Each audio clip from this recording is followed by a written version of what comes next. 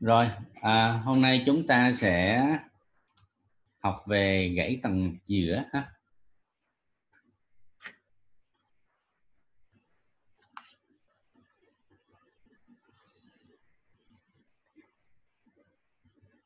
Thế thì cái mục tiêu của chúng ta thứ nhất là chúng ta trình bày được hai phân loại cơ bản gãy tầng giữa. À. Thứ hai là chúng ta giải thích được cái cơ chế chấn thương gãy tầng giữa là cái gì à, thứ ba là triệu chứng quan trọng. Thì trong đó tôi nêu yêu cầu trình bày được bốn triệu chứng quan trọng. Như vậy thì nó có thể là 10 triệu chứng 20 triệu chứng 30 triệu chứng à, nhưng chúng ta coi những triệu chứng quan trọng nhất là cái gì? Và sau đó là chúng ta trình bày được cái nguyên tắc điều trị và những di chứng biến chứng thường gặp cái tầng giữa như vậy chúng ta sẽ có năm cái mục tiêu trong bài học này à, và tương ứng như vậy chúng ta sẽ có cái phân loại cái là một giữa thứ hai là cái cơ chế chấn thương hình thái di lệch. À, thứ ba là chứng lâm sàng. À, thứ tư là chúng ta bị chẩn đoán hình ảnh. À, thứ năm là điều trị. À, và thứ sáu là biến chứng di chứng. Đây là sáu cái phần gọi là cái nội dung của cái cái tầm mật giữa đầu tiên ta nói về phân loại cái tầm mật giữa thì ta tại sao ta cần phân loại? Ở bất kỳ vấn đề gì chúng ta cần có một hệ thống nhất về nó.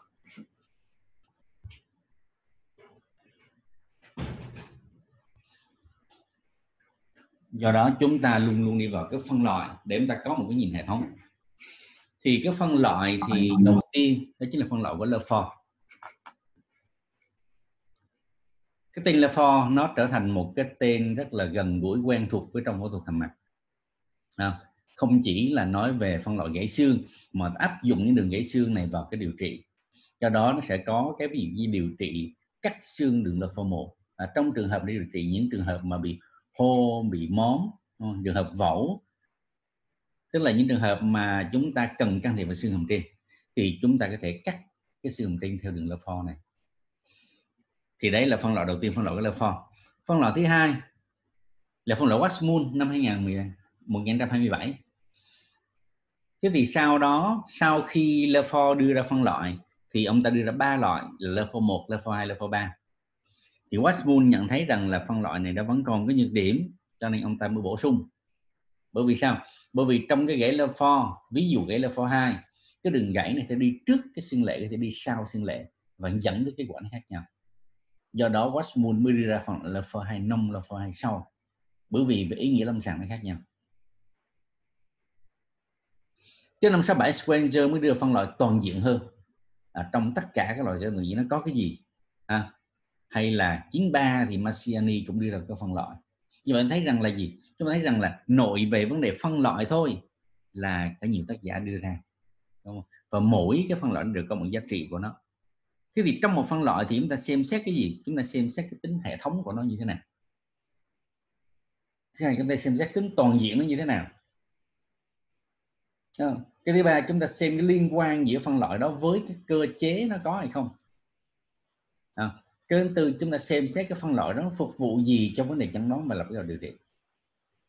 À, như vậy thì một phân loại chúng ta xét nhiều góc cạnh để chúng ta xem xét từng giá trị của phân loại đó. Thế nhưng những phân loại này tôi nghiên cứu tôi vẫn thấy nó chưa đầy đủ hết. Và năm 96 thì tôi có đề xuất một cái phân loại nữa đây để đảm bảo được cái tính toàn diện của cái của phân loại. Và như vậy thì tôi sẽ trình bày hai cái phân loại là phân loại Lefort là phân loại đầu tiên và cái phân loại của tôi. À, dĩ nhiên phân loại của tôi cũng là một sự kế thừa các phân loại của Watson, Spencer hay là Marciani để chúng ta có một cái nhìn toàn diện hơn. Từ đó với Lefort thì ông ta à, chia ra là ba loại Lefort 1, Lefort 2, Lefort 3 à, cái này chúng ta đã nói ngay từ đầu tiên về vấn đề chấn thương rồi. Và ba loại đường gãy này tương ứng với cái gì? Tương ứng với các vị trí của nó từ thấp cho tới cao. Để nghiên cứu được cái gãy để ra cái tên gọi cái Lefort này thì Lefort làm nghiên cứu rất là công phu. ông ta mới dùng cái gì? Ông ta dùng tất cả các một số vật liệu như chân bàn hay là cái chày gỗ. Ông ta đập lên những cái xác tươi. Ông ta đặt cái xác nằm trên và ông ta đập vào những vị trí khác nhau sau đó ông ta mới đi cắt cái đầu của cái xác ông ta mới đi hầm cho rụt hết cái mô mềm lột hết mô mềm ra rồi quan sát cái đường gãy. Đấy. rồi kể cả ông ta cắt cái hộp sọ ra ông ta lấy cái phần não ra ông ta coi thử nó ảnh hưởng tới cái nền sọ là không vân vân. Đây chúng ta thấy là một cái nghiên cứu mà gọi là là mức độ công phu như thế. Và nghiên cứu này ông ta viết thành một cái à, một cái công trình dày trên 300 trang và sau đó thì được tóm tắt lại trong một khoảng 100 trang. À, và như vậy thì gãy level 1 là đường gãy thấp nhất. Chúng ta biết rằng cấu trúc xương hàm trên như trong phần giải phẫu chúng ta nói rằng là nó có những hốc tự nhiên đối với xương hàm trên. Như vậy chúng ta sẽ có hốc mũi ở chúng ta có hốc mắt đúng không? Chúng ta có sâu hàm nằm ở giữa này. Và giữa những cái hốc đó chính là những trụ xương và cái trụ xương đó nó thích hợp cho cái lực chuyển tải theo chiều đứng à, như chúng ta đã biết. Chúng ta có trụ gò má chúng ta có trụ nanh chúng ta có trụ chân miếng hồ cái à, đấy là cho thích ứng cho cái lực nhai. Tuy nhiên lực chấn thương là lực bất thường. Nó không đi theo cái trụ đó vẫn đi ngang đập vào. Và như vậy thì cơ chế của hàm trên nó không có cơ chế để chịu cái lực theo hướng ngang một lực bất thường. Cái cơ chế thiết kế của tạo hóa đối với xương hàm trên là chịu lực dập là lực nhai thôi là lực sinh lý lực diễn ra hàng ngày thường xuyên. À, và như vậy thì nó gãy. Và đường gãy đó sẽ phân bố ở đâu? Nó đi vào những cái vùng yếu. À, và như vậy đi ngang qua những cái son. Do đó đối với cái trường hợp đường gãy là phô một nó sẽ đi từ đâu? Nó đi ở ngang qua hốc mũi nó đi vòng ra sao đấy. Và như vậy thì trong cấu trúc của khối tầng mặt giữa chúng ta thấy rằng cũng có cấu trúc xà. Chúng ta có cái xà của gì? Chúng ta có xà thứ nhất là cái xà ở xà dưới xà dưới này tương ứng với lại cái xương cổ gái đúng không? Sau đó tới xà giữa chúng ta tương ứng với lại cái gì? Tương ứng với lại cái bờ ống mắt. Đấy. và như vậy thì nó sẽ phân bố giữa những cái xà này. Ở đây đừng gọi là phô một. Đường lớp phô một nhìn thẳng đây là lớp phô một nhìn nghiêng. Và như vậy đường lớp phô một nó gãy đi ngang qua cái gì? Nó đi ngang qua xương hầm trên. À, ở thấp nhất. Và khi ra phía sau thì chúng ta biết rằng cái xương hầm trên nó sẽ kết nối với lại xương hộp cái và xương bướm. Do đó nó sẽ gãy luôn phần ba dưới của xương bướm và hộp cái luôn. Đấy. Và nên nhớ rằng là khi nó có gãy cái xương bướm, gãy chân bướm thì nó sẽ lan vào trong nội sọ. Đó. như vậy thì gãy level một mặc dù lực va đập là vào hàm trên nhưng có thể có biến chứng nội sọ nghĩa là gì? Nghĩa rằng là từ cái vị trí đập và đập như này hoàn toàn không được gì tới sọ não hết. Đúng không? nhưng à cái xương bướm nó nằm ở ở nền sọ. À, và cái gãy chân bướm nó lan vào nó gây ra những cái biến chứng ở trong nền sọ. Ví dụ như thông độc cái mạch xoang hang. Ví dụ như là tổn thương cái thần kinh liên quan đi gần cái vùng là là cái cánh cánh xương bướm đây thì đấy là vấn đề, ngay cả lại level một gãy rất thấp như thế, vẫn có thể liên quan đến sọ não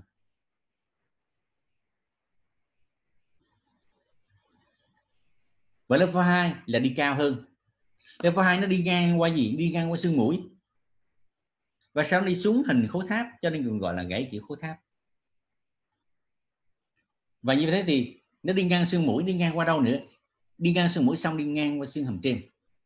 Sau đó nó đi xuống và đi qua cái bờ dưới ổ mắt và cũng đi vòng xuống dưới phía sau. Đi ra phía sau, trên hàng ngang này phía sau. Và như vậy thì phía dưới của nó nó cũng gãy một phần ba dưới của cái chân bướm và hay là xương khẩu cái. Thế thì ở cái giới hạn sau, ở cái vị trí phía sau của gãy level 1 2 là nó giống nhau. Và gãy level 2 nó còn gọi là gãy phân ly sọ mặt nhưng phân ly sọ mặt thấp bởi vì sao? Cho thấy nguyên toàn một khối mặt nó đã tách ra ngoài tách xuống dưới rời ra. À, và nó đại diện cho phần lớn của khối mặt. Như này gọi là pho hai như vậy thì đường gãy lai đi qua bao nhiêu xương? Qua xương mũi là thứ nhất. Xương trên là thứ hai đúng không? Xương gì nữa? Xương khẩu cái là thứ ba. Thứ tư là xương gì? À xương bướm là thứ tư và ngoài ra à, chúng ta còn lưu ý là ở đường giữa nữa thì đi qua thêm cái gì gì? À, xương sàn và xương lá mía nữa. Đấy. như vậy khi tôi hỏi rằng là gãy lỗ hoài qua bao nhiêu xương thì chúng ta phải đếm được là tính được là chúng ta có bao nhiêu xương. Vậy là phô ba thì nó đi qua đâu? À xin. Level 3 thì nó sẽ đi qua còn một phía trên bây giờ trong level 2 nhìn cái xương đây nó như thế nào? Ở đây tôi lấy ví dụ cái xương. À, thì như vậy nó đi qua xương mũi đi qua xương nhánh lên xương hầm trên đi vòng xuống dưới và đi vòng ra sau. Thì đây là hình ảnh nếu tôi lấy một xương hầm trên để tôi vẽ thì đi ra như thế là level 2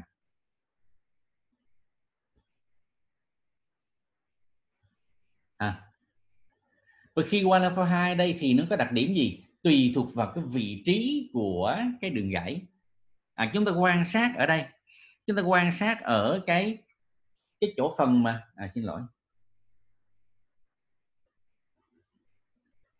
Chúng ta quan sát ở cái phần gì?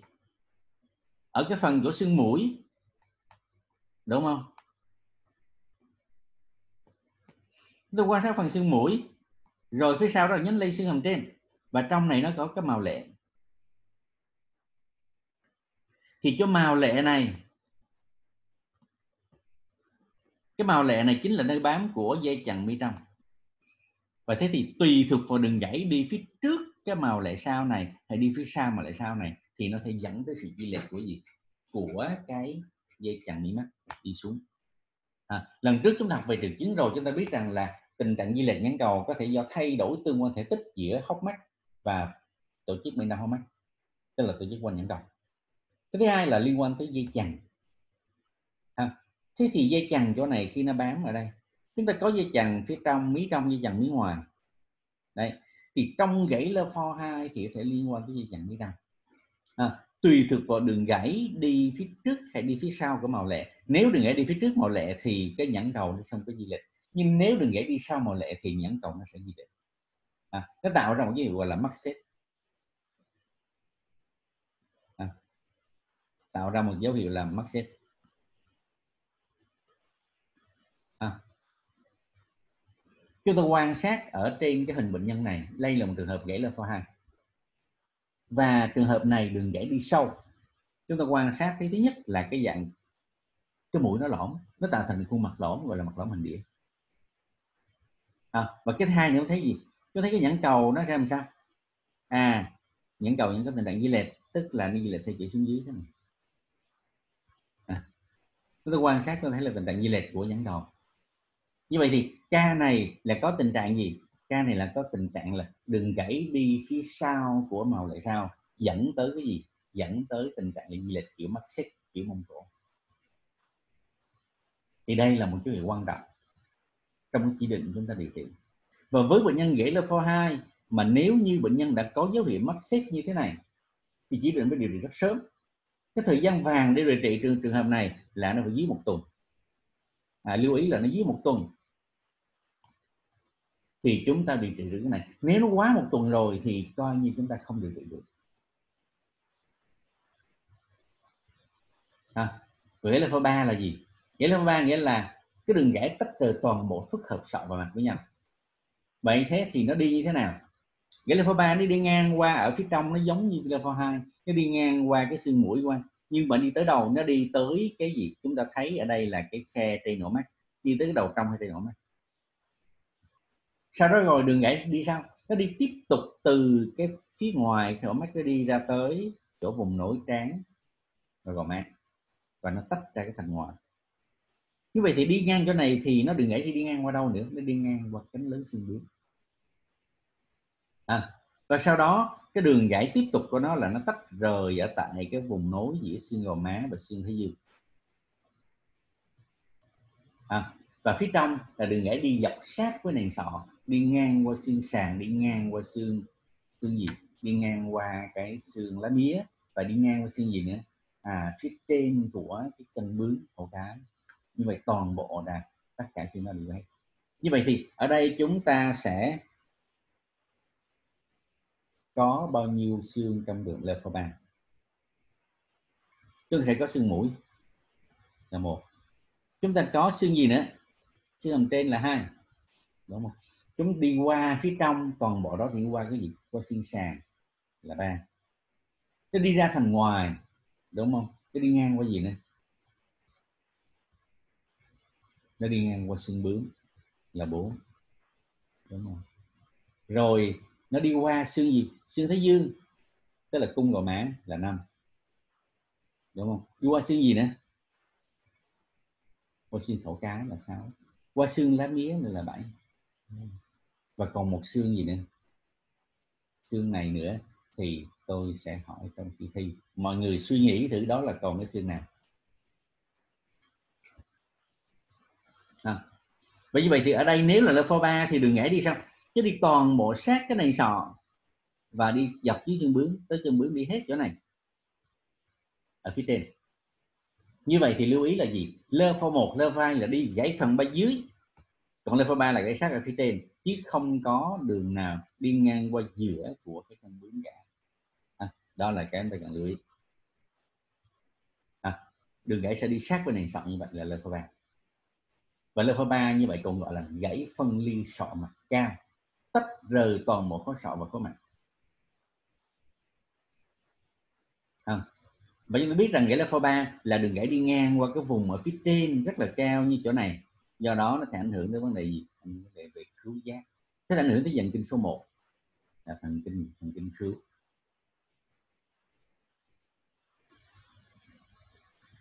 cái phân loại của tôi thì sao? À bởi vì tôi đã nghiên cứu rất nhiều phân loại. Nhưng mà những năm 95 cái vấn đề phân loại tôi có ý nghĩ về phân loại từ khi tôi còn đang học nội trú. Và sau đó tới năm 95 thì tôi đi nước ngoài. Và lúc đó tôi mới lục toàn bộ tất cả phân loại, tất cả phân loại trong gãy xương vùng hàm mặt gãy xương hàm trên gãy xương hàm dưới gãy xương gò má à, gãy lầu tròn vân vân. Tôi ngồi tôi đặt là toàn bộ phân loại à, so với quá trình là 5 năm nội trú trước đó tôi coi tôi rằng đối chiếu với nhận xét của mình trên một số lượng bệnh nhân chấn thương cũng khá lớn. Để tôi tìm hiểu xem à, nó còn gì nó đã hoàn thiện chưa? Chương trình bổ sung. Và tôi thấy rằng nó chưa hoàn thiện. Và cái phân loại của tôi nó chia làm nhiều cái khác nhau so với gãy là form. Rất là đơn giản là phần một hai ba. Đây phần loại đơn giản nhất? Ai cũng biết hết. Nhưng có nhìn toàn diện hơn thì là câu chuyện khác. Thì chúng ta chia ra. Thứ nhất là gãy nhóm một là gãy bán phần của tầng mặt giữa. Tôi lấy ví dụ đừng gãy dọc giữa. Gãy một phần thôi. À, thì nó không có trong phân loại kia. Mà nguyên tắc của phân loại phải đảm bảo tính toàn diện. À, đây là gãy xương ổ răng. Gãy bán phần. Thì nó là không có. Đúng không? Thứ hai là tôi chỉ là gãy ngang toàn bộ tầng giữa thấp. Cái này tương ứng với gì? À, tương ứng với gãy level một. Đúng không? Cái thứ ba là gãy khối tháp là tương ứng với gãy level 2 như vậy thì cái này tương ứng với level 1 cái này tương ứng với level 2 không? Nhóm thứ tư là gãy tách rời sau mặt này tương ứng level 3 à, thứ năm gãy tầm giữa phức hợp. Bởi vì thực tế ra nó không chỉ có gãy một cái mà gãy rất là nhiều. Nhiều cái đôi khi một bên kiểu level một bên kiểu level hai. Chứ không phải là chỉ có level một level hai thuần túy như thế. À, và trong năm nhóm này tôi là phân nhỏ nó ra để đảm bảo tính toàn diện. Đối với một ví dụ gãy xương ổ nằm trên là tôi gọi là một a. Đúng không? Hay là gãy dọc giữa gãy dọc bên. À nó chính là một b thứ ba là gãy xương dính mũi. Nó cũng thuộc tầng mặt giữa Đấy. như vậy thì phân loại như thế thì nó đòi cũng còn gì và thứ tư là có một cái gãy là gãy phức hợp mũi sàn ổ mắt. Gọi là gãy enoi, đây cũng là gãy phức tạp. À, như vậy N là gì? Là nasal là xương mũi. O là gì? O là orbital. À, là ổ mắt. Còn Y là gì? Là ethmoid là xương sàn. Tiếng việt mình quen gọi là mũi sàn ổ mắt nhưng mà nếu mà đúng theo cái này là gì? Là mũi ổ mắt và xương sàn. À. đấy là bốn cái trường hợp gãy nhóm một. Đấy. Rồi gãy nhóm hai. À, chúng ta có thứ nhất là gãy level một là hai a. Đúng không? Cái thứ hai là phố một có thể kết hợp với gãy dọc giữa gãy dọc bên. Nó cũng thuộc nhóm gãy thấp. Cái đường gãy dọc giữa nó cũng thuộc nhóm gãy thấp do đó tại sao tôi không gọi gọi nhóm 2 là level 1 bởi vì ngoài level 1 còn có những thứ khác nữa. Đấy. Gãy nhóm 3 thì chúng ta có cái gì? À, chúng ta có gãy là phôi nông. À, không gãy phôi sâu. À chỗ này chính là phân loại của Westmoon tôi kết hợp nó vào. À, lo phôi nông là không có dấu di lệch kiểu mắc xếp. Lơ vai sau là có dấu lệch kiểu mắc xếp. như vậy lơ hai nông thì không có cái này à, chỉ lo phai sau mới có. Và khi có lơ phai sau, thì lúc đó phải có chỉ định gì? Phải có chỉ định là treo xương hàm. Phải có chỉ định thứ nhất là can thiệp sớm, thứ hai là phải treo xương hàm. À cái thứ ba, vậy là nó lại có thể kết hợp với gây NOI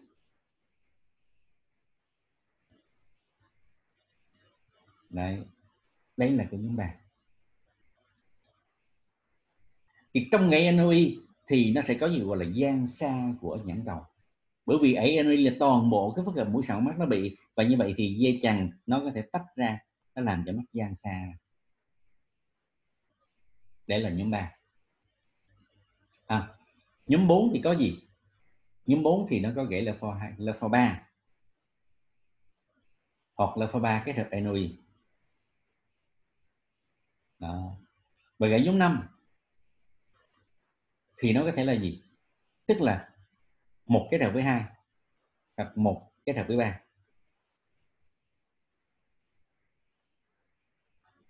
Đúng không?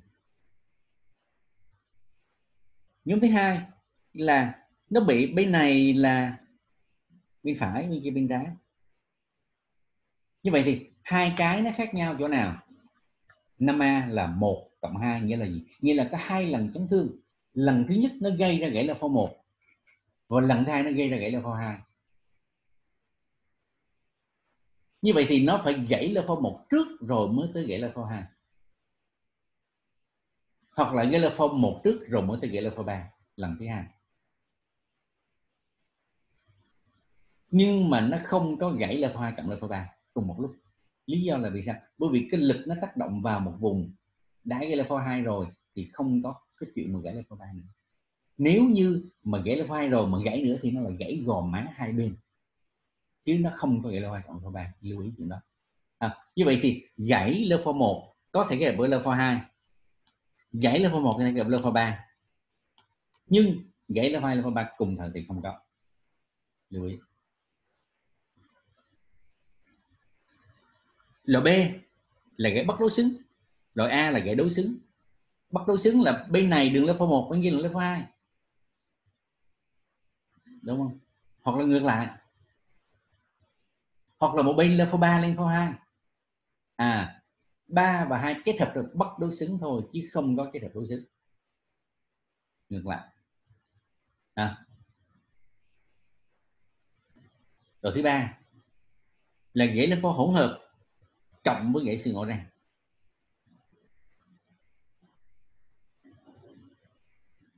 Đúng không? Thứ tư là phân hỗn hợp cộng với gãy dọc của xương kia. như vậy thì đây mới là phân loại sao toàn diện nhất. Đúng không? Và chúng ta phải có hai cấp. Cấp một, cấp tổng quát và cấp hai, cấp chi tiết. À nếu chúng ta muốn dừng cấp tổng quát, chúng ta cấp tổng quát thôi. Như vậy thì cái phân loại phải bao hàm hết tất cả các loại gãy xương. Và như vậy thì trong phân loại này nó đảm bảo được tất cả mọi cái đó và sau khi tôi nghiên cứu tất cả các phân loại tôi không thấy là phân loại nào đảm bảo một cách hoàn toàn nhất. Do đó tôi mới đề xuất thành cái phân loại này để đảm bảo cho cái tính gì? Tính toàn diện của nó.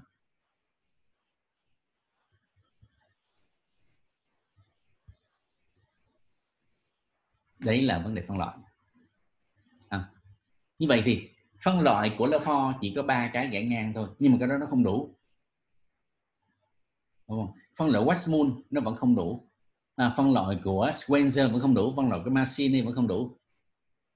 À, và thôi chúng ta không cần đi sâu vào các phân loại đó chúng ta cần phân loại cơ bản nhất và phân loại toàn diện nhất. Như thế là đã đủ rồi. À, đó thì mục tiêu cho phục vụ cho mục tiêu thứ nhất là trình bày được các phân loại.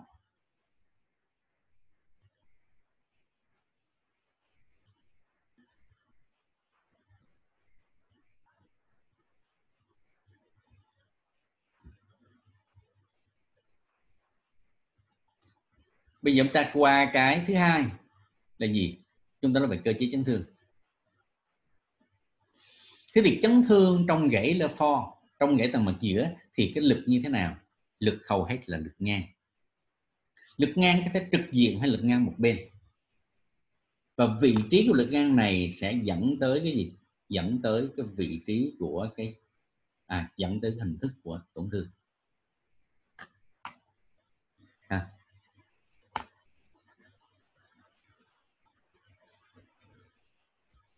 à chúng ta lấy ví dụ trong trường hợp level 1 là lực thẳng từ đức ra sau ở cái gì? Ở vị trí thấp. À, level 2 thì cái vị trí sẽ cao hơn. Nếu như lực chệch xuống sang bên thì có thể kết hợp thêm cái gãy khác nữa. Ví dụ cái thể kết hợp thêm gãy xương ổ. À, hoặc ngang bên nữa có thể kết hợp với gãy gò má. À, thế thì ở Việt Nam mình rất hay có tình trạng là gãy polar trọng với gãy phức hợp gò má tức là gãy thêm cái xương này nữa hoặc là cái xương bên này. Như vậy thì trong trường hợp gãy lơ cộng vào gò má thì có thể là gì? Có thể cái lực tác động vào một bên. Chúng ta biết rằng là ở bệnh nhân Việt Nam mình thì hay có tình trạng gì? À té Honda là chính té xe hay bánh cái động cơ là chính. Do đó lực đập qua một bên. Và một bên đó có thể nguyên một cái diện. Đối với tụi nước ngoài thì cái xương gò má nó thấp. Nhưng mà người Việt người châu Á nói chung thì xương gò má nó cao.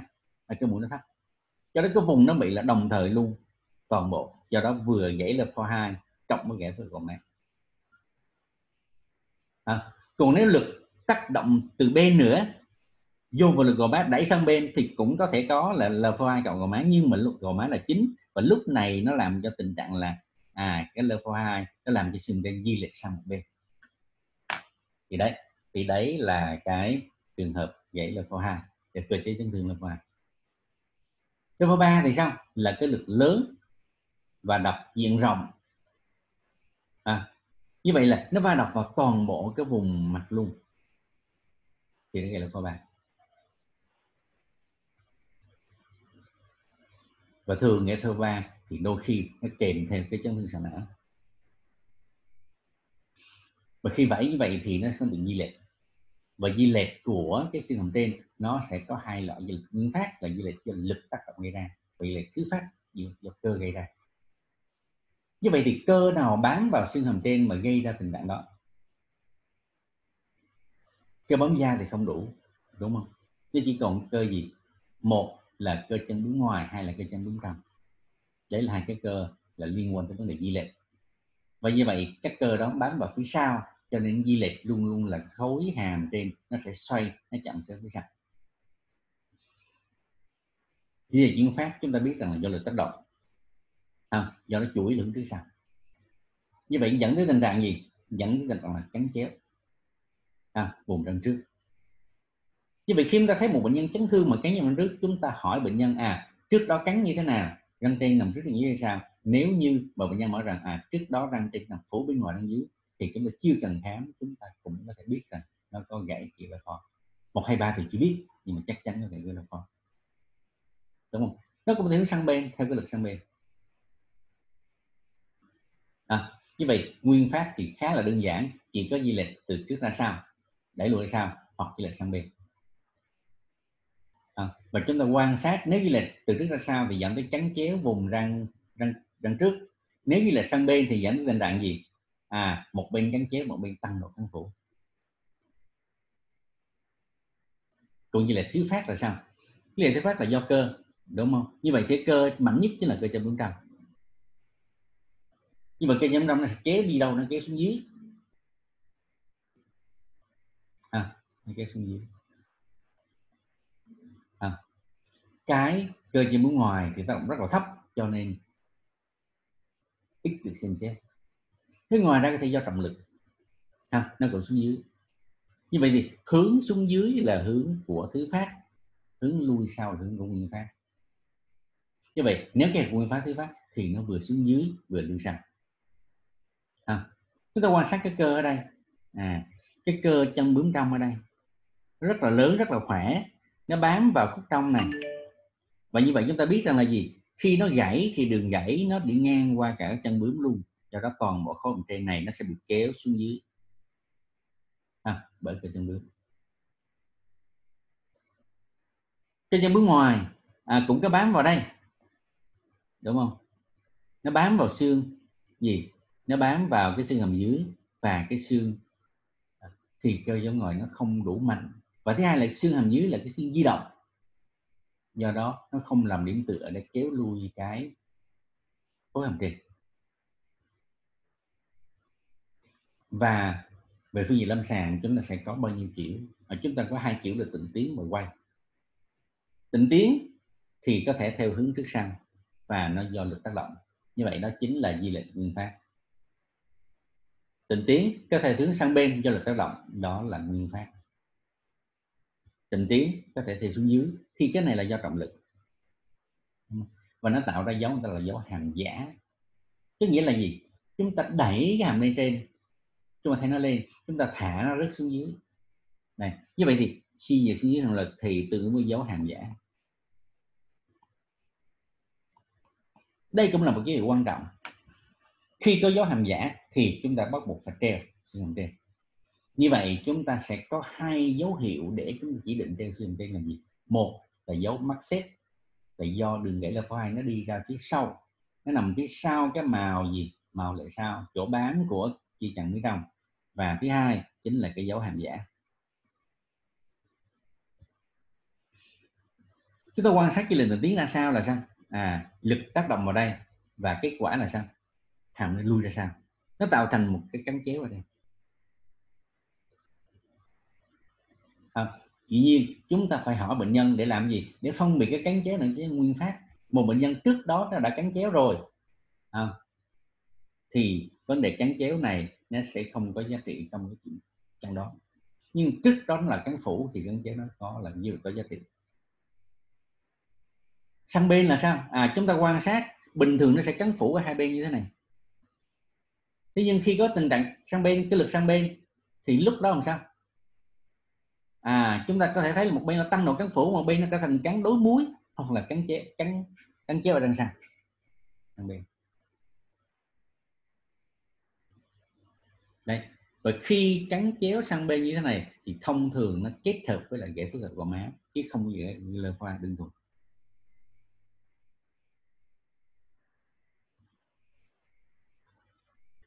Gì là xuống dưới. À chúng ta quan sát cái khối hàm trên. Chúng ta thấy là sao? À, nó tách rời ra. Giờ xuống dưới. Thì lúc này em thấy chuyện gì xảy ra? À chúng ta thấy cái nhất là em thấy cái tầng mặt giữa nó dài ra. Nó dài ra. Thứ hai là gì? À, có thể tăng độ cười lộ nước. À, có thể tăng cái độ lộ răng lúc nghỉ. À, và lúc đó chúng ta lấy tay chúng ta đẩy nó lên thì cái hàm nó sẽ đi lên. Chúng ta thả nó rớt xuống thì đó chính là như lệnh cực tí xuống dưới. Và đây là dấu hàm giả. Toàn bộ. À, dấu hàm giả toàn bộ. Đây là một trong những triệu chứng quan trọng nhất trong cái chỉ định điều trị đối với gãy lơ phong à dòng nhà toàn bộ rồi di, di lệch thứ hai là di lệch quay. Như vậy di lệch quay chúng ta sẽ có cái gì? Chúng ta sẽ có ba cái trục trong không gian. Chúng ta tưởng tượng những cái máy bay. Ha, cái máy bay thì nó có cái gì? Chúng ta có hai cái cánh đúng không? Chúng ta có cái thân. À, và nếu chúng ta theo cái trục đứng nữa thì cái bay có thể quay. Như vậy thì ba cái trục trong không gian đó là gì? Cái trục theo chiều trước sau thế chiều trước sau đó thì nó sẽ giống giống máy bay nó sẽ nghiêng cánh một bên đúng không? Đấy. và như vậy nó sẽ chạm sớm một bên. À, quên trục ngang quên nó sẽ có gì gì chạm sớm đằng sau. Còn trục ngang là sao? Nó chạm sớm trước chạm sớm phía sau. Nhưng mà chủ yếu là chạm sớm phía sau. Là vì sao? Là vì cái cơ chân bướm trong nó kéo xuống dưới nhiều hơn nó mạnh hơn nó làm cho chậm sớm phía sau. Đấy như vậy thì về mặt nguyên tắc quanh trục ngang đúng không? Quanh trục ngang này thì nó có thể chạm phía trước hoặc chạm phía sau nhưng mà hầu hết 99% là chạm phía sau. Đôi khi nó có thể chậm sang phía trước. À, lưu ý chuyện đó. Tại sao như vậy? Tại sao những phía trước? À lúc này là sao? Lúc này là vì trong một trường hợp mà nó cắn phủ rất là nhiều và khi nó di lệch ra sau nó tạo thành cái dạng gì? Nó giống như cắn đối đầu. À, lúc đó chúng ta thấy chạm sớm phía trước. Lưu ý. À, nhưng mà chạm phía trước đó thì chúng ta cần phân biệt với cái gì? Cần phân biệt với chạm sớm do tình trạng cánh phủ nó nhiều nó vẫn di lệch không có quay nó chạm sớm. Thứ hai là nó do chạm sớm.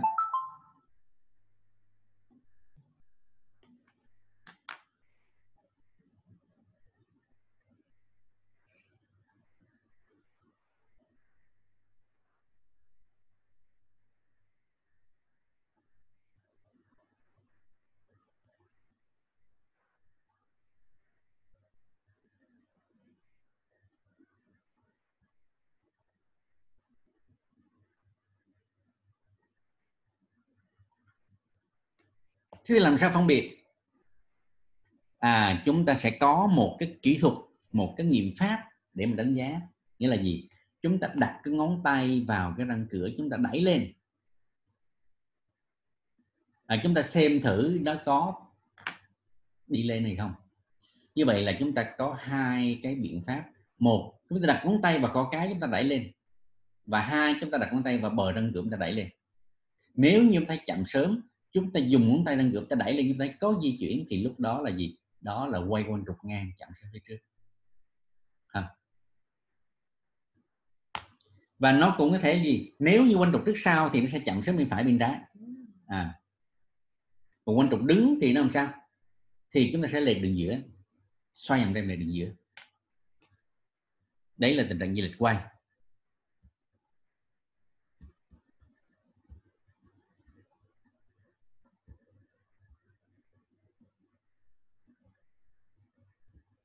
Rồi à, có câu hỏi gì đây?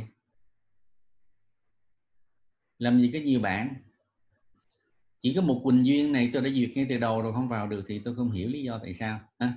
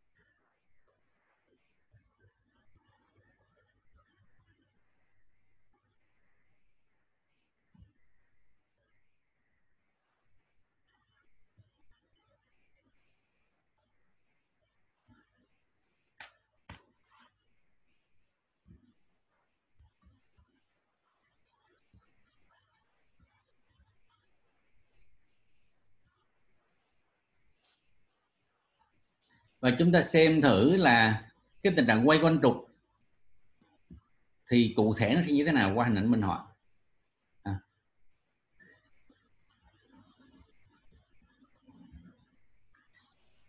chúng ta quay quanh trục ngang thì lúc đó chúng ta sẽ có tình trạng gì? Là chậm sớm phía sau. À, chậm sớm phía sau như vậy. À, nó cũng có thể ngược lại là chậm sớm phía trước quay quanh trục trước sau thì nó làm sao? Nó sẽ chạm xuống một bên.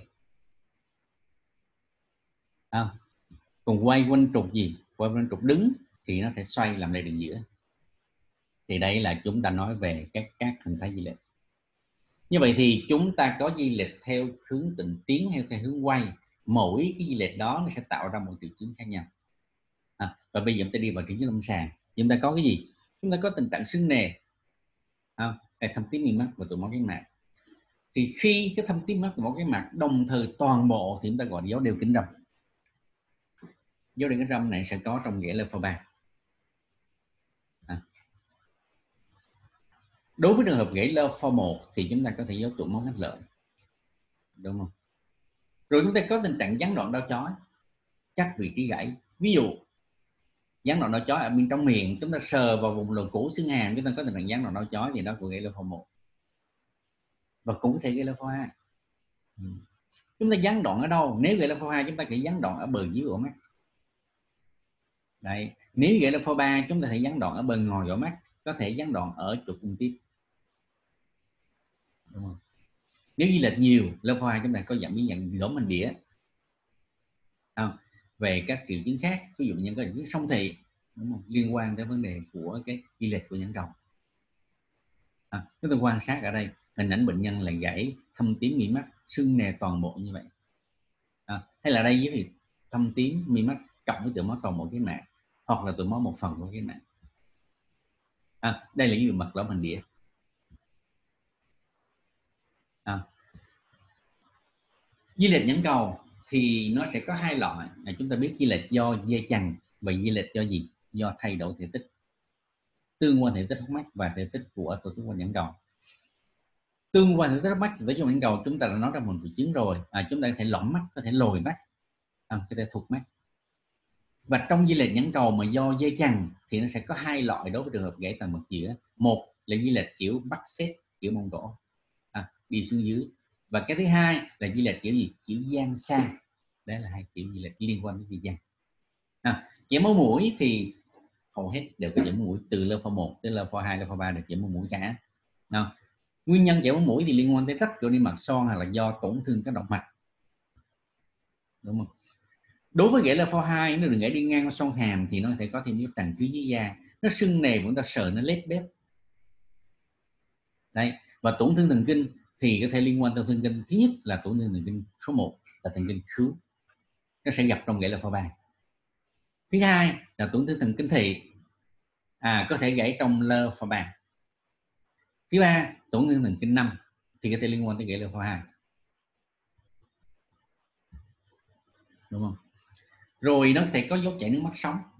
Chảy nước mắt sống là sao? Chúng ta biết bình thường là cái tuyến lệ nó tiết ra nước mắt nó sẽ đi qua ống lệ đi xuống trong mũi nó đổ qua ống lệ tỵ đúng không? nhưng vì lý do gì đó nó đứt cái ống lệ tỵ đi trong nghệ là phò thì nó cũng dẫn tới nước mắt không có chảy vào được đường mũi mà chảy ra ngoài và chỉ nó sống à, hoặc là cái gãy xương nó gầm chèn ép nó làm tắt cái đường dẫn truyền à, đường dẫn của của nước mắt đúng không? chảy dịch não tủy à nó liên quan tới gì nó vỡ thành ra xoang trán. À, nó có thể là chỗ tại cái vị trí xương sàn nó tổn thương nó thể liên quan tới gì nó tủy như vậy chúng thấy rằng là gì? À rất là nhiều triệu chứng. À, như tôi yêu cầu bốn triệu chứng chính của những quan trọng. Chúng ta xem xét thêm đâu là triệu chứng quan trọng? Chúng ta phải tự nhận định đâu là triệu chứng quan trọng. À, và cái này chúng ta cũng đã nói trong cái bài triệu chứng học rồi. À. rồi trong khi chúng ta khám nếu có gãy dọc thì nó có tình trạng gián đoạn cung răng, ha. do tình trạng di lệch quay từng tiếng, chúng ta có tình trạng di lệch của toàn bộ cung răng, theo kiểu gì theo kiểu di lệch trước sau, theo lệch theo hướng ngang, theo lệch xuống dưới, ha. Đó. tình tiến xa sau tiến sang bên tình tiến xuống dưới, thì đây là những cái tình trạng di lệch của toàn bộ cung răng ha. và tương ứng với đó là do nhà toàn bộ chúng ta đã phân tích trong cái cơ chế của di lệch đây là ảnh gián đoạn công năng trên trong là gãy một cái gãy dọc của xương hàm trên. Và khi tình trạng như là xảy ra thì nó lận dẫn đến sai khớp cắn. Ví dụ nó chậm xuống phía sau. Như vậy thì đây chính là dấu hiệu của một tình trạng gì? Tình trạng xoay của xương hàm trên ở phía sau. Nó chậm đến phía sau trước. À, như vậy là chậm đến phía sau là tình trạng gì? Quay quanh trục ngang. Chậm xuống một bên là quay quanh trục trước sau. À, một điều quan trọng là di lệch bất thường cung răng. Chúng ta lung lay cung răng. À, trong phần khám lâm sàng chúng ta nói rồi khi chúng ta lung lay cái cung răng chúng ta thấy nó cái di động không đồng bộ đúng không? Thì nếu lung lay cung răng đơn thuần thì đó là lơ phô một. Nếu lung lay cung răng cộng với khối tháp là lơ phô hai. À, nếu lung lay cung răng cộng với khối gò má chính là lơ phô ba. À, như vậy đây là một triệu chứng quan trọng để chúng ta chẩn đoán được gãy. Thế nhưng dấu hiệu này không chỉ định điều trị được là cái gì đúng không? Dấu hàm giả gì chỉ định phẫu thuật và gãy tầm mặt giữa cũng có thể có dấu hám bị hạn chế. À, một cái nữa là thể chảy dịch não tủy. Đây là những cái triệu chứng chúng ta thấy rằng là triệu chứng rất là đa dạng đúng không? Nhưng mà trong đó chúng ta cần nhận định được vai trò tình biến sẽ là cái gì. À, đây chúng ta khám để chẳng nói phân biệt. Đây chính là gãy lơ phô một à, còn chúng ta lắc chúng ta đặt cái tay này và ở, chúng ta thấy cái ngón tay phía trên nó có nhúc nhích đi theo thì đó gọi là hai hoặc là ba. Lúc đó chúng ta phải đặt vào gò má để chúng ta chặn đoán phân biệt giữa hai với ba. Để chẩn đoán thì chúng ta cần có thêm các phim để chúng ta xem thử là gãy như thế nào. Thì phim ước chúng ta sử dụng hai loại là phim gì? Phim water và phim nhiệt là phim chính à, lần trước chúng ta đã nói trong cái bài chẩn đoán hình ảnh rồi đúng không? Đối phim water thì chúng ta đánh giá được tình trạng gì? À mình đã nói khảo sát được phạm vi từ son trán tất cả những cái cấu trúc mình đã nói trong lần trước. À, thì trong những chỗ này thì những cái vùng quan trọng là gì? Là chúng ta coi cái mỗng trán xương gò má mỗng gò má xương trán để liên quan với gãy lơ pho gì? Là pho ba đúng không? Chúng ta coi cái son hàm liên quan tới gãy lơ pho hai đúng không? Chúng ta coi cái xương mũi vân vân à, đây như vậy đây là những hình ảnh của cái trên phim để giúp cho chúng ta có thể một cái đánh giá một cái chẩn đoán.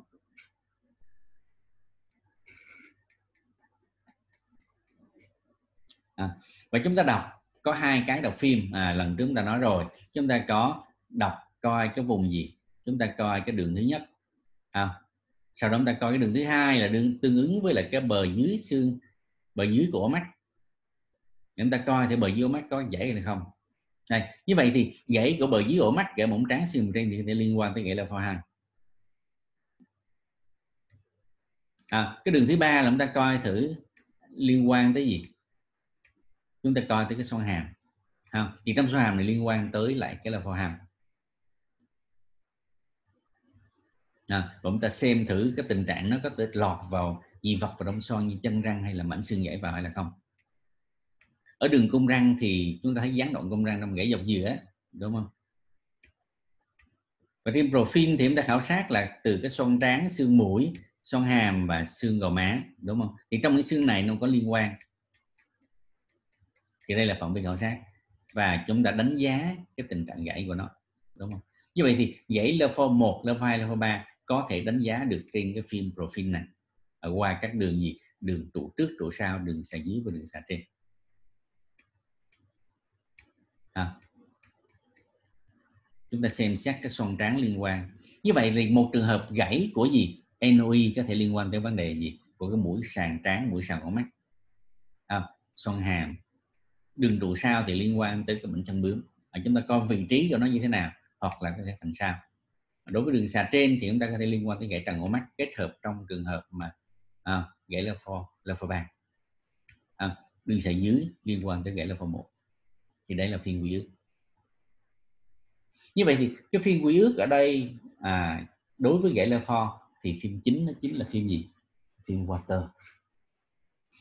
Các lớp điện toán thì chúng ta coi thì mặt cắt ngang mặt cắt đứng ngang nhưng mà cắt đứng dọc. Chúng ta xem thử từ vùng trán ổ mắt cho tới vùng trên thế nào. Chúng ta coi mặt cắt đứng ngang từ trụ trước tới trụ sau như thế nào. À. đấy và như vậy thì chúng ta xem xét được thành ngoài thành trong ổ mắt một cái gãy là for hai nó có thể là hay là for ba nó có thể làm tổn thương tình trong ổ mắt nó làm vỡ cái xương gì xương giấy cái mảnh giấy của xương sàn nó làm di lệch nó. Chúng ta sẽ xem xét. Thì ảnh hưởng tới tình trạng di lệch của nhãn cầu hai bên đúng không? Và chúng ta đánh giá được máu tụ nếu có thần kinh điện nếu có. Đây là cái mặt cắt ngang ở vùng trán của mắt. À, như vậy thì giá trị của phim mặt cắt ngang trán của mắt là rất là lớn à, trong cái vấn đề đánh giá trong đợt gãy của tầm dĩa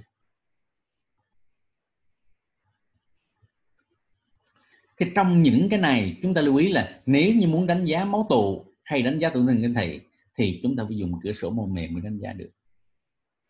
À, do đó khi chúng ta chỉ định chúng ta nghi ngờ chỉ định thì chúng ta phải lưu ý thêm là chúng ta cho loại cửa sổ nào.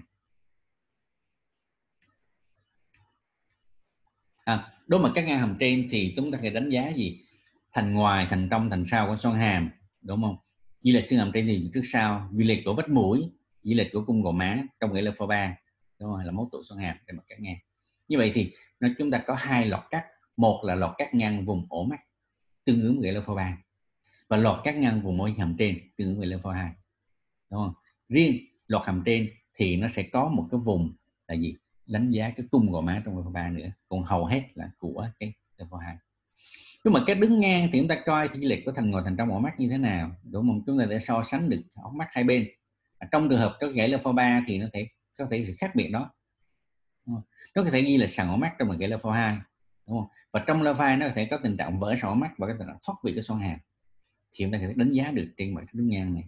Đúng không? Rồi chúng ta coi thử thành ngồi thành trong xoang hàm di lệch như thế nào trong gãy level 2 đúng không? Hay là của vách mũi. Đây là một cách đứng ngang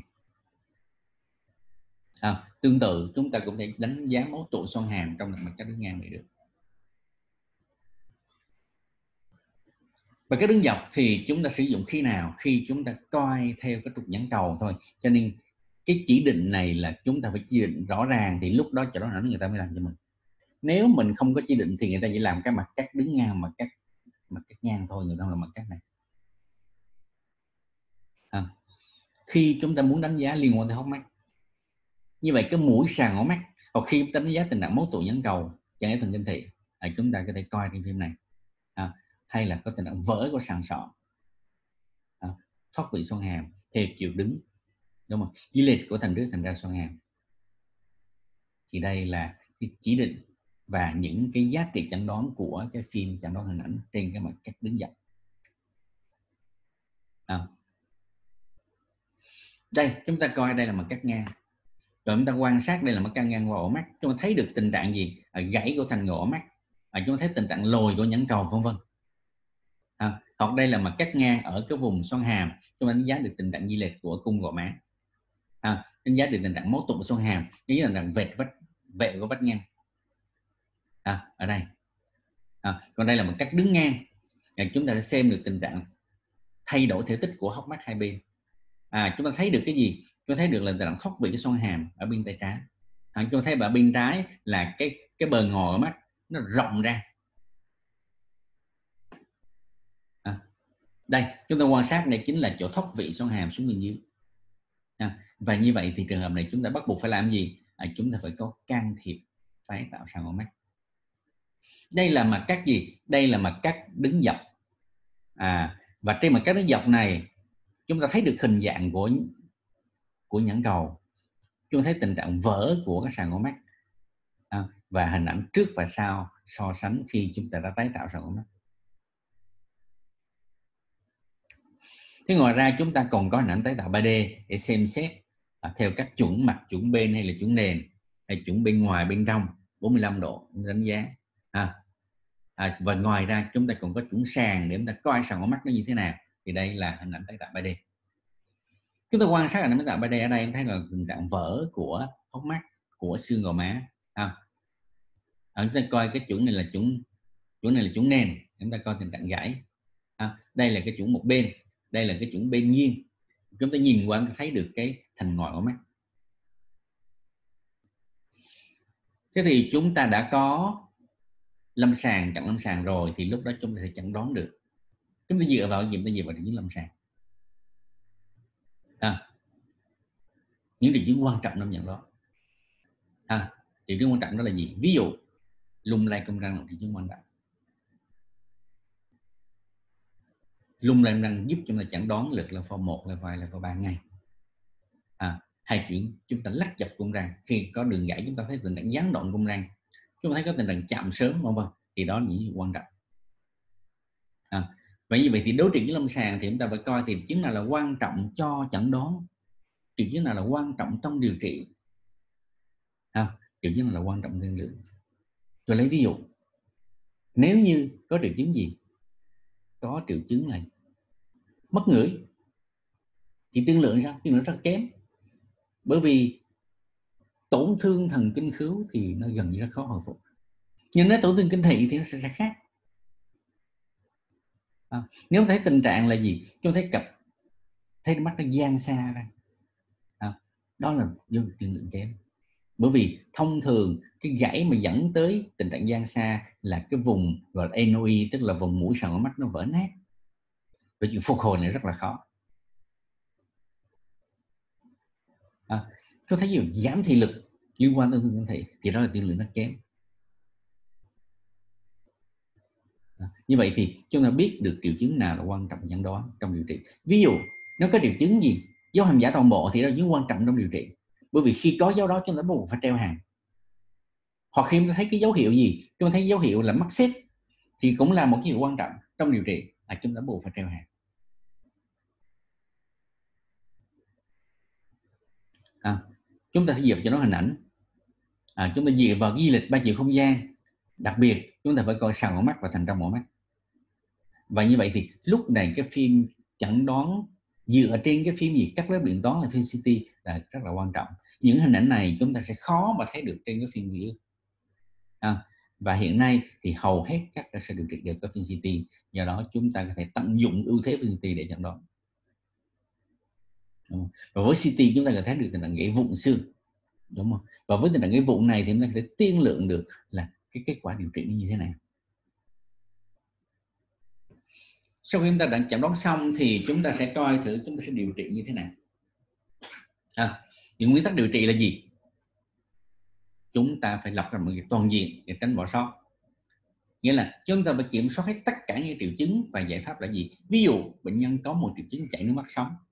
À thì lúc này chúng ta phải phối hợp với đâu? Với chuyên khoa mắt.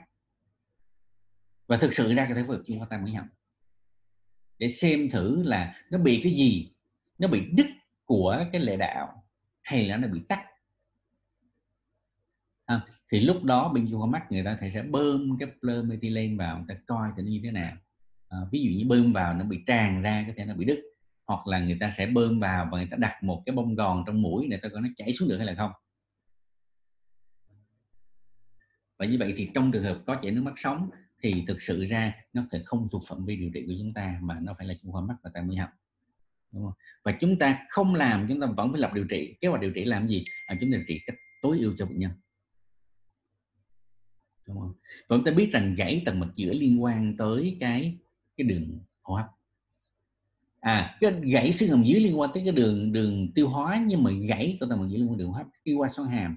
Do đó kháng sinh dự phòng chúng ta nó cũng phải phù hợp với những cái chủng vi khuẩn ở đường hô hấp. Đây là điều ta cần lưu ý.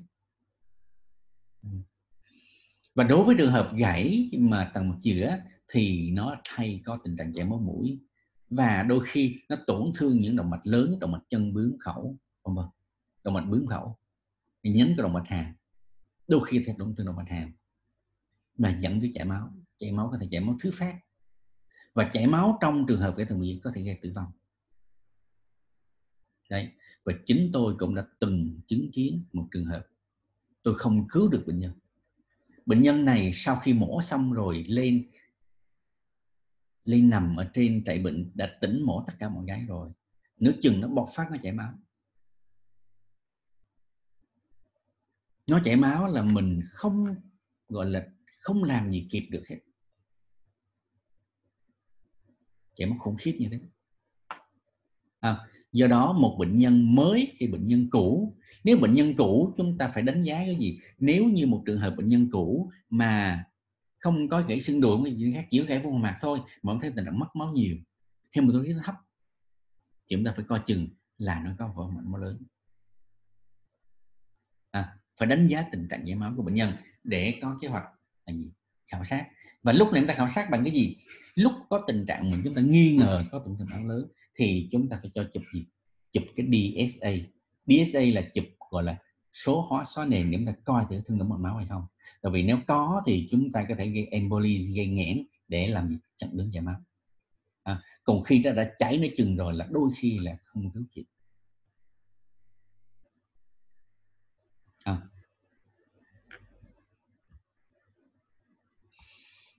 chúng ta coi thử tình trạng di lệch đúng không? Di lệch với di lệch quay thì chúng ta có thể điều trị đơn thuần bằng cố định hàm. Nhưng nếu như là tình tiến thì nó sẽ khó hơn. À, di lệch quay thì điều trị bảo tồn được.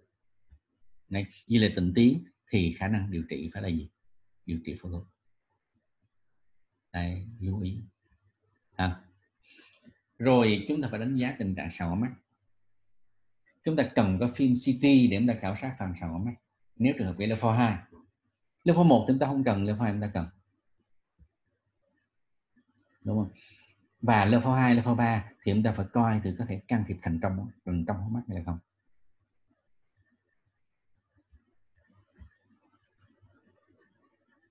Đấy. và chúng ta lưu ý là gì? Dấu hiệu liên quan mắt dễ bị bỏ sót. Là vì sao? Vì lúc này nó có tình trạng sưng nèo tổ chức quanh nhãn cầu. Và kết quả là nó bù lấp với lại những tình trạng là do tăng thể tích hốc mắt do tình trạng thoát vị xoang hàm. Đây và cái tốt nhất là gì? Chúng ta hiểu rõ về cái cơ chế của nó.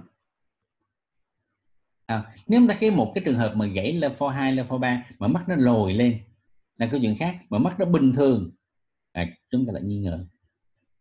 Vì sao? Vì có thể là tình trạng sưng nề nó kết hợp với là gì? Kết hợp với cái tình trạng là thoát vị xương xoang hàm à, do đó chúng ta phải khám lâm sàng cẩn thận.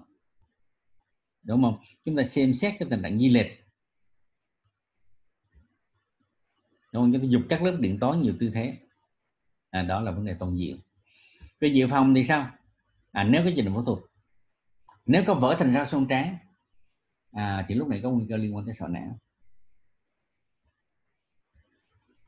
Đó. Nếu có di dịch não tủy thì nó sẽ có liên quan tới vấn đề là à, có thể dẫn tới tình trạng con đường viêm nhiễm đi từ cái đường mũi đi lên. Đó. vậy chúng ta dùng kháng sinh mạnh phổ rộng. Đây và lúc đó các kháng sinh phù hợp đó chính là rocephin là ceftriaxone đây là một kháng sinh khá là mạnh của cephalosporin thứ tư. Đúng không? hoặc là chúng ta phối hợp với oxacillin cộng với cefutaxin à, trong những trường hợp mà có vỡ xoang trán có chảy dịch não tủy. À, thì chúng ta nên dùng cái này trường hợp đặc biệt chảy dịch não tủy.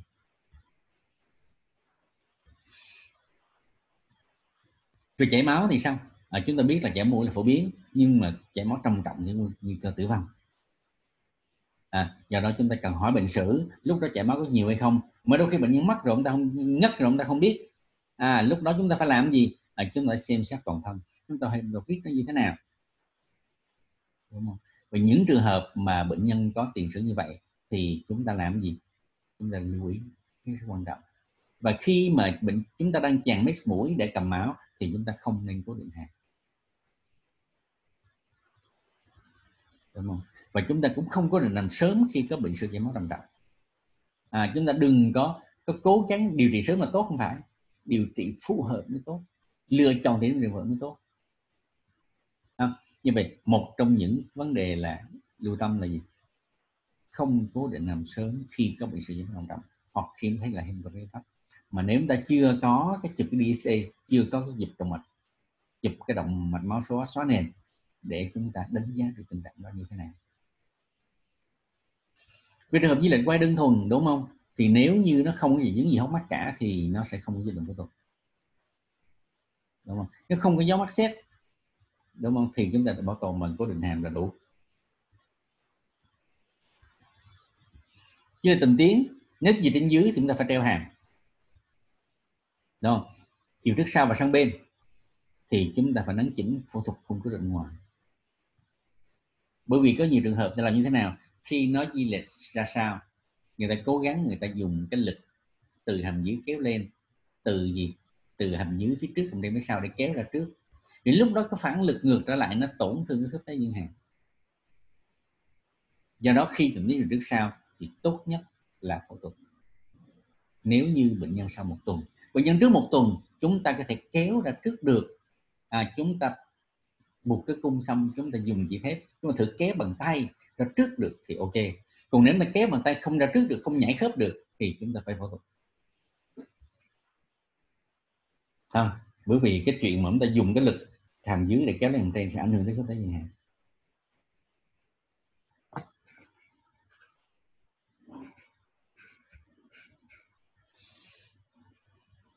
vấn đề thám sát cần thị mắt thì sao? À khi nó có vỡ sàn mắt là chúng ta thấy được trên phim. Chúng ta thấy thoát vị sâu hàm. Và khi mà chúng ta can can thiệp sọ mắt thì chúng ta lưu ý phải là vấn đề là bảo vệ nhãn cầu. Đúng không? Chúng ta phải đánh giá tình trạng vận động của nhãn cầu bởi vì sao? Tình trạng thoát vị rồi, nó kẹt cái cơ, nó sẽ dẫn tới là giảm vận động. Do đó chúng ta phải làm gì? Chúng ta thám sát thì chúng ta phải kiểm tra cái vận động nó. Để chúng ta làm gì? Chúng ta release, chúng ta giải phóng toàn bộ khối cơ, khối mô mềm và bị chèn vào trong đường gãy và sau phẫu thuật chúng ta cũng phải khám mắt đánh giá lại vận động nó cải thiện là không. Đối thành trong thì có thể là chúng ta phải khôi phục hồi dây chậm như mắt trong đúng không? Và lúc này là khi bệnh nhân có chữ gian xa của và vấn đề lựa chọn gãy thì thuộc vào gì? Gãy nhóm nào? À, gãy nhóm 3C lúc này là sao? Đường vào sẽ cạnh mũi là gãy NOI đây. đúng không? Gãy nhóm 4B thì lúc đó cái đường vào sẽ là đường tráng thái dương à, như vậy gãy nhóm 3C chính là gãy liên quan tới level 2 còn gãy nhóm 4 thì liên quan tới gãy level 3 à, và nếu trường hợp can thiệp hai bên thì chúng ta sẽ dùng cái đường gì? Open sky tức là cái đường gì? Cái đường chúng ta sẽ mở nó ra giống như chữ H ở xung quanh cái, ngay cái vùng, vùng sông mũi. À, thì đây là hình ảnh của các đường một đường vào cạnh mũi. Đường vào như thế này đường vào cạnh mũi đây là đường open sky tức là hình chữ H. Nếu trường hợp chúng ta can thiệp hai bên. Còn đối với gãy răng giữa thì chúng ta có những loại chỉ định điều trị nào? À, chúng ta có thể chỉ định một cố định liên hàm. Đúng không? Điều trị bảo tồn. Chúng thể có thứ hai là treo xương hàm trên. À, trong động gì là tính đến gì trên dưới. Hoặc là khi có dấu gì dấu hiệu mắc xét cũng có thể sử dụng khí cụ ngoài mặt đúng không? Hay là phẫu thuật nắng hở cái đẹp xương. Đúng không? tái tạo sàn ngõ mắt. Hay là can thiệp thành trong ngõ mắt. Thì đây là những gì điều trị đối với đợt ghé tầng ngoài dĩa à, khi nào có định liên hàm? À, trong hầu hết tầng ngoài dĩa chúng ta có chỉ định này. Ngoài trừ trường hợp nào nếu chúng ta sợ nó chưa ổn định. À, nếu nghi ngờ nguy cơ chảy máu à, hoặc là bệnh nhân không đủ răng để cố định được. Nếu bệnh nhân còn răng nhưng mà răng nha chu lung lay hết không đủ vững chắc à thì chúng ta cũng không làm cố định liên hàm. À, đây là ảnh chúng ta cố định liên hàm. Thứ hai chúng ta sẽ treo xương hàm trên hay dùng cái cuộn ngoài mặt. Nếu treo xương hàm trên thì nó có dấu mắc xếp hay gì là tình tiến chiều trên dưới hay là có chảy máu trầm trọng à nó chảy máu đây tại sao là chảy máu trầm trọng treo xương hàm trên.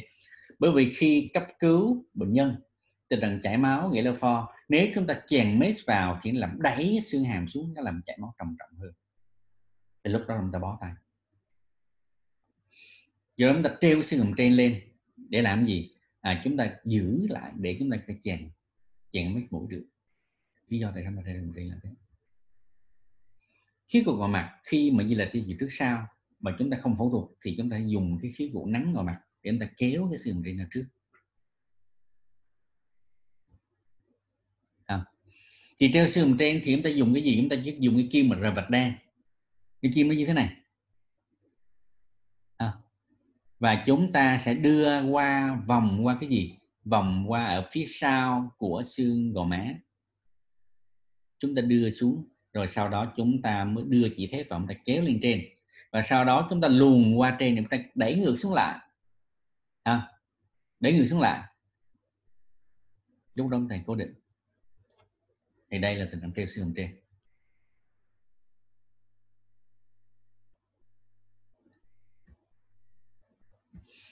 Phẫu thuật nắng hở. Thì khi nào khi nào chúng ta chống dịch đứng ngoài liên hàm thì chúng ta bắt buộc phải làm phẫu thuật nắng hở hoặc là khi nó di lệch nhiều mà nắng trên mô tụng chúng ta không năng di chuyển được khi không không nắng chỉnh được hoặc bệnh nhân không muốn cố định hàm. Cố định hàm không ăn uống gì được hết trong vòng mấy tuần 3 tuần 4 tuần bệnh nhân không muốn. Bệnh nhân nói à tôi có điều kiện có cái nào thoải mái nhất cho tôi hay không? Lúc đó chúng ta sẽ lựa chọn.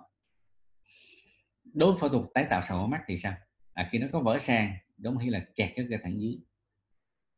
À, hoặc là chúng thấy có tình là thoát vị cái xoang hàm nó dẫn tới thay đổi cái thể tích dẫn tới tình trạng di lệch của nhẫn cầu hoặc bệnh nhân có tình trạng song thị. À, mà song thị do cái gì? Do kẹt cơ. Còn thành trong thì khi nào? À, có thể là tình trạng mắt xếp một bên hay là mắt gian xa thì chúng ta sẽ điều trị can thiệp vào thành trong và đối với gãy tầng một giữa thì có những cái biến chứng gì? À, canh liệt khi chúng ta can thiệp không kịp thời trường hợp này hay gặp khi nào bệnh nhân kèm theo một cái chấn thương khác vì chấn thương sọ não người ta phải lo vấn đề sọ não trước. Hoặc là khi người ta kèm theo một chấn thương là chấn thương ngực chấn thương bụng chấn thương nghiêm trọng người ta muốn can thiệp cái chuyện đó trước ổn định trước rồi mới làm thì có thể dẫn tới canh lệ. Cái canh lệ cũng có thể do bệnh nhân.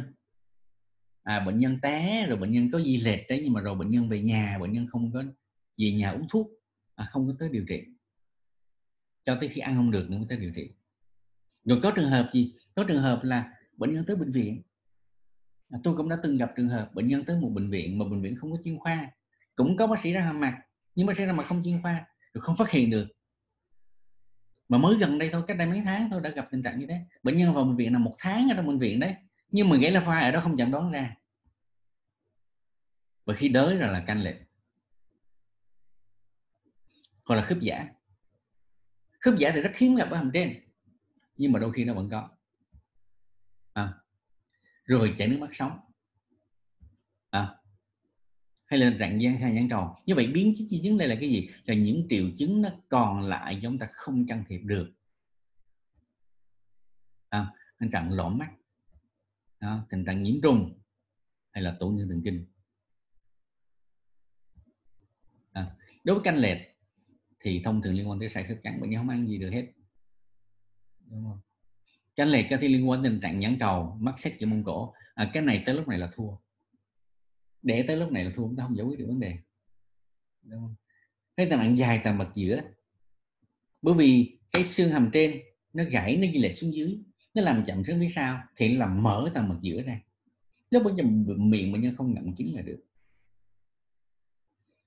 ha lúc đó người ta phải làm gì? Người ta phải cắt lên phô một. Nhưng mà cắt lên phô một cái loại là đánh lún phía sau, tức là cắt phía sau nhiều hơn là cắt phía trước. Phía trước là một đường, phía sau là một một khoảng thì mới đẩy lên được.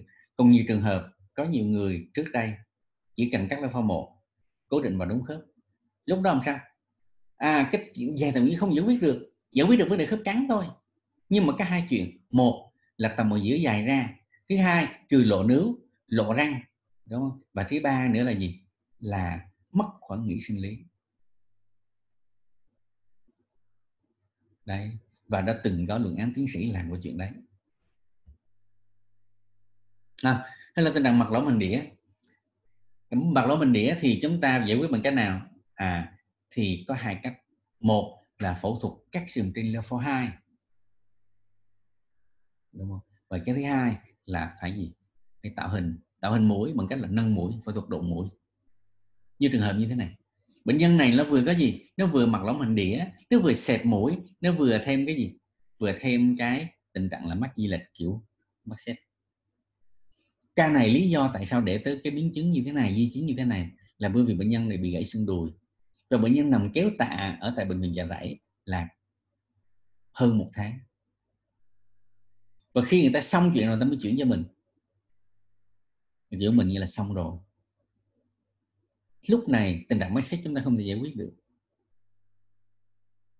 Đây chúng ta giải quyết được thẩm mỹ mũi một tí thôi.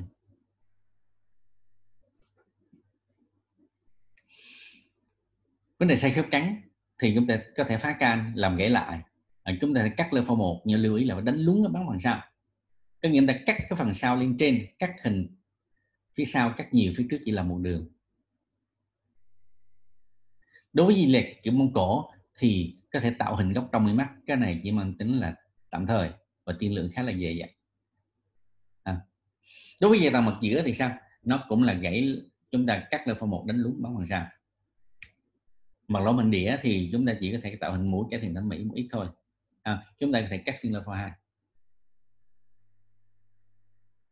À, chúng ta biết rằng là điều trị trở nên phức tạp hơn đối với khớp giả thì trong trường hợp mà chúng ta còn lắc công năng lung lay sau 3 tháng, những bệnh nhân này thường là già suy kiệt, đúng không? Và chúng ta phải nâng tổng trạng, sau đó chúng ta làm gì? Chúng ta mở vào nắng hở và chúng ta kết hợp xương. Đối với trường hợp chảy nước mắt sống thì sao? Nó do đứt lệ đạo hay là tắc ống lệ tiệt đúng một lúc này chúng ta phải hợp vô mắt và tam mũi họng còn nếu nó gian xa nhãn cầu và đứt cái dây chằng mi trong một bên hay là hai bên đúng không? Trong gãy NOI à, thì cái này rất là khó điều trị. À, tôi xin lỗi là cái từ đứt này nó sai.